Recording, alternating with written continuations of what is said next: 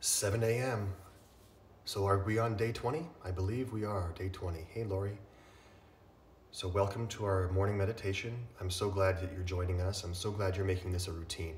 The constant practice is the way we achieve results in anything, whether it's uh, liberation from suffering or whether it's building a business or completing a project for school. Consistent practice and work. So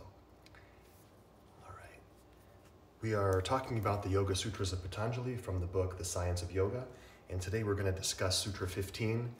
This is, in my opinion, one of the most important in the entire teaching because we are introduced to the term Vairagya. The term Vairagya is central to yogic philosophy. If your goal in life is to help reduce suffering for yourself and those around you, the concept of Vairagya is of paramount importance.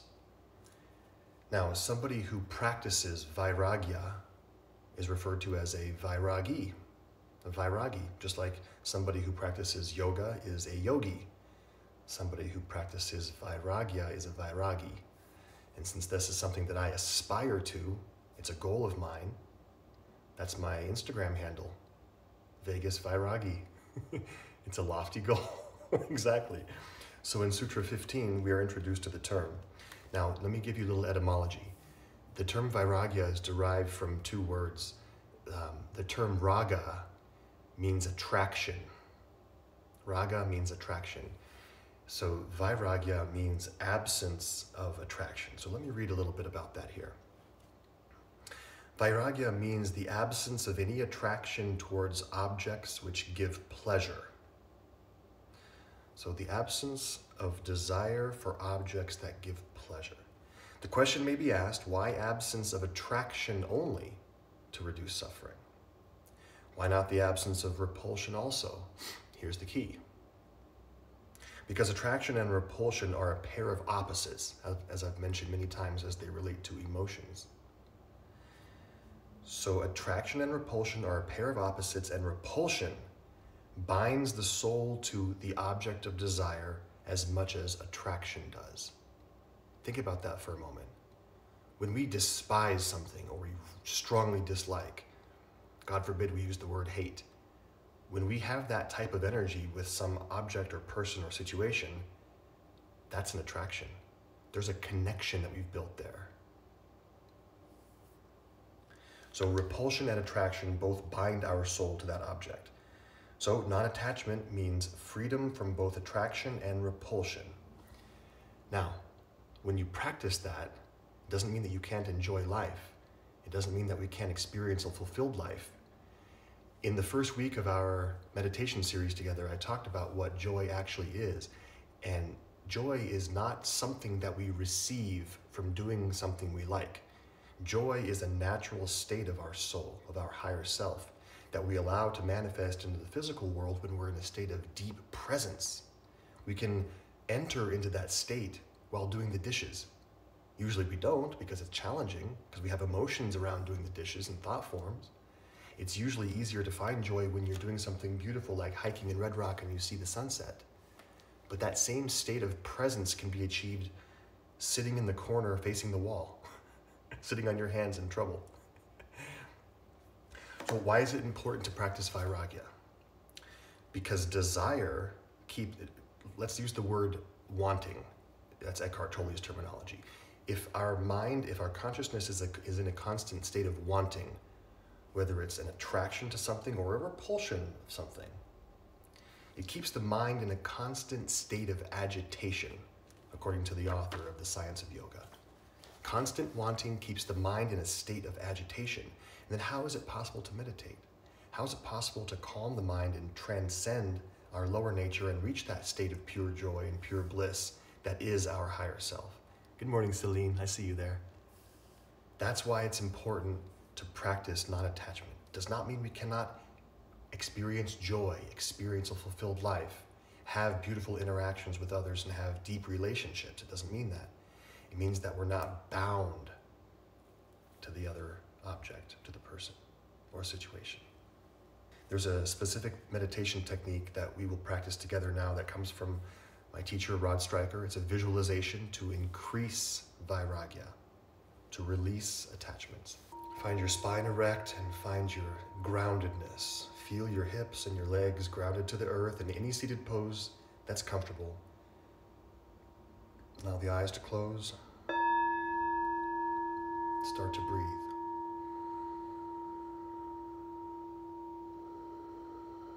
Place a gentle constriction in your throat for subtle ujjayi. Just sense the vibrations of your air, of the breath in the throat. And then begin to deepen the breath. The breath is the easiest doorway to walk through to a still mind.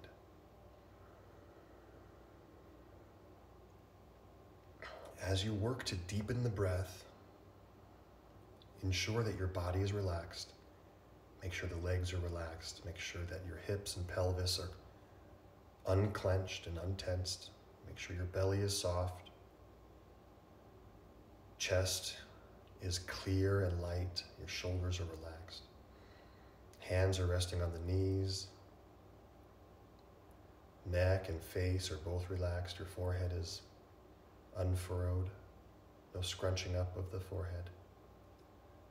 So the physical body is relaxed. I want you to turn your attention inside the body. It's possible to do this. Sense what's happening inside your physical form. Place your awareness inside the body and sense there. Your consciousness is not rooted in the brain. You can move your consciousness to any part of the body, the inner body you choose.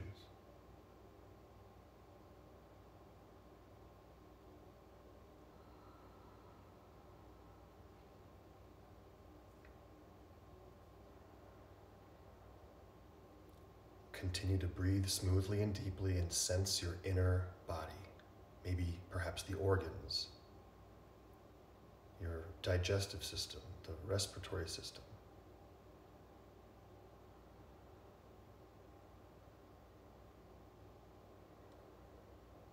Ensuring that the breath is smooth, resolving any pauses, any roughness in the breath, any shallow breathing. And now I'd like you to draw your attention to the place around the navel, around the belly button, and slightly behind it, inside the body. Become attuned to any feelings or thoughts or emotions that are less than helpful to us. We all have ideas or energy that is less than constructive, is inhibiting to our progress, is perhaps negative, that we would like to release that attaches us to situations, that binds us to negativity. Just be aware of those feelings inside of us and those thoughts because we all have those to a certain degree. And sense that they're gathered behind the navel in the lower abdomen.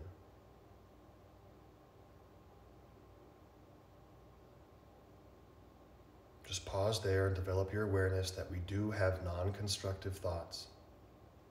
We do have attachments we do have some negativity.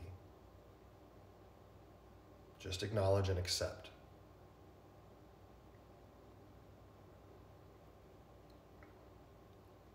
Now we'll work with a colored light, preferably a violet or purple light. This is a visualization technique where we begin to purify and cleanse and release as much of this negativity and heaviness and darkness as possible. So we'll use our breath. As we inhale, there's a sense of lifting all of the negativity and heavy thoughts from the navel up into the heart center, where there's a showering, a bathing, a soaking of purple or violet light in the heart. And then we pause the breath, that's the inhalation. And as we exhale, we send all of that purple light and cleansed thoughts, cleansed negativity up and out through the top of the head.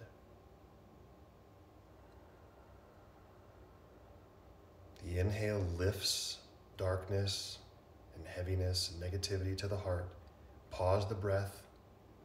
Purple, violet light cleanses and transforms.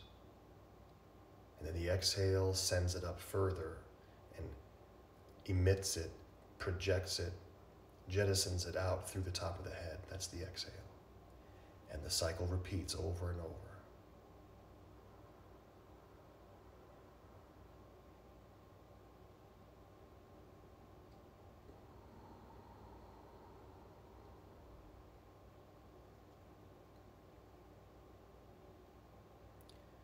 Whatever is preventing us from living our fullest and best existence on earth.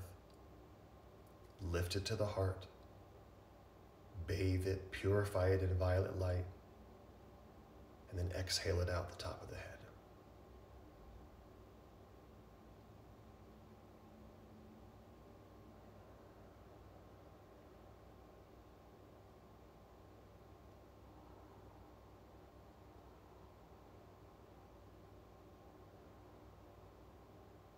Continue the cycle over and over. Keep lifting any dullness, any inertia, any attachments from the navel to the heart. Pause the breath, cleanse and transmute with purple light. Then exhale out the top of the head.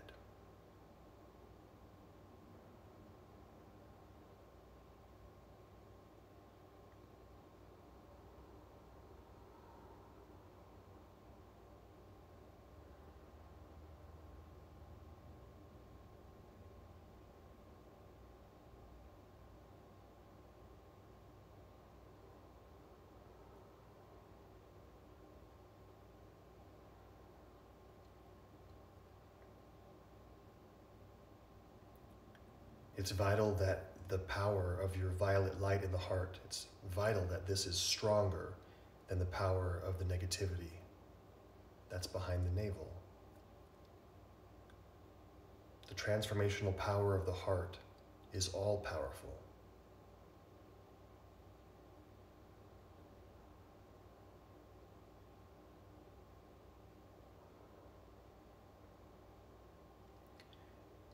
And the process of purification is the process of freedom, liberation,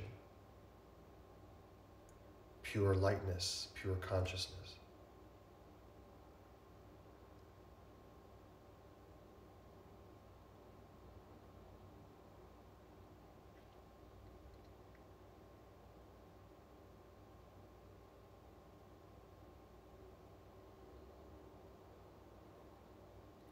And now relax the technique, relax the active motion of energy movement, movement and just rest, soaking, showering the entire body, the entire mind in violet light.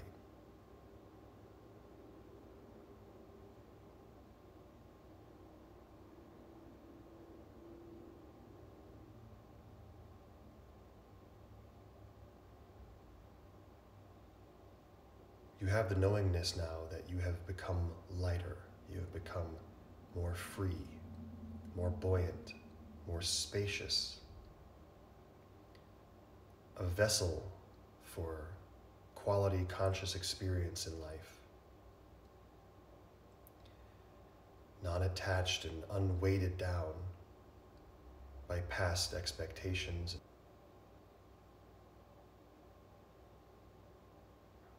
Let's take a deep inhale together, please.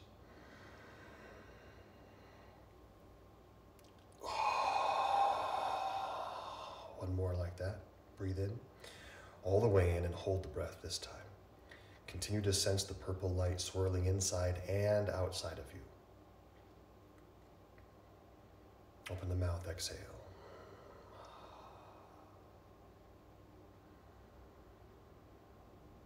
Understanding that quality experiences and connections can be had without this constant wanting for any situation, any outcome to be a certain way. This is the solution for suffering. Please bring your palms to the chest. And honor yourself. Bow the chin.